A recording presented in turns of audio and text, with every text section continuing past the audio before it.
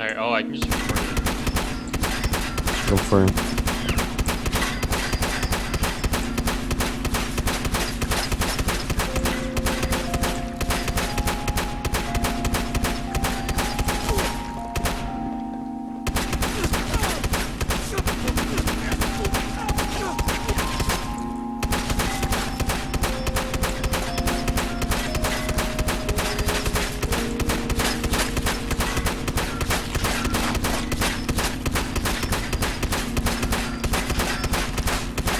At least my pistol shots now disarm, so that